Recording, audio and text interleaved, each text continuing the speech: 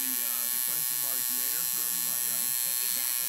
Some people are standing firmly behind it. I kind of wanted a tattoo for a bit, and I'm like, uh, I don't have steady hands. But I stand up for what I I'm believe. gonna do I mean, he said that's the reason he's standing here. Because his mother was courageous and didn't have the abortion, like the doctor said. Yeah. Yeah, you definitely. Point of view is pretty strong. I mean, I can draw. I can do all that stuff, but- very controversial. Super Bowl. All it takes, man. I mean, well, I don't know. I take that back. I know a lot of talented artists that probably couldn't say too. Definitely, uh, Right.